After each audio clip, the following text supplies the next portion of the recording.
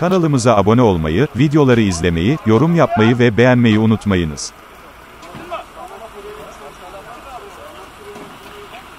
Balıkesir'de aydınlatma direğine çarparak devrilen panelvan minibüste 3 kişi yaralandı.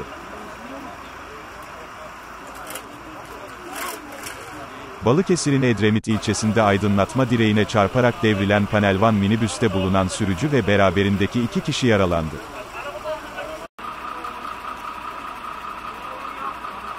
Cennet Ayağı Mahallesi İstasyon Bulvarı üzerinde yaşanan kazada ismi öğrenilemeyen sürücü, kullandığı 43 HF076 plakalı panelvan minibüsün direksiyon hakimiyetini kaybetti.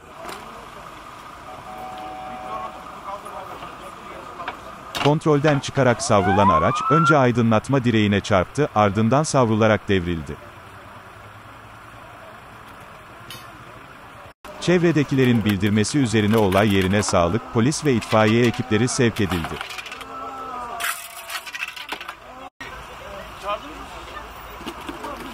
Kazada yaralanan 3 kişi, olay yerindeki ilk müdahalenin ardından 112 acil yardım ambulansları ile Edremit ve Burhaniye Devlet Hastanelerine kaldırılarak tedavi altına alındı. Kaza nedeniyle bir süre duran trafik akışı, aracın çekici ile kaldırılmasının ardından tekrar normale döndü.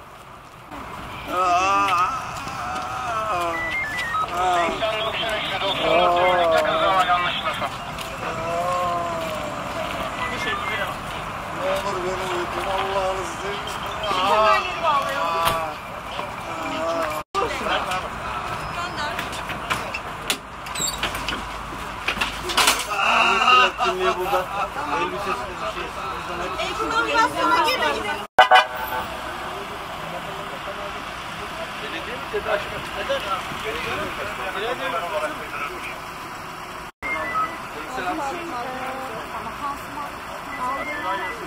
Beyaz kadar geçecek. Geliyor.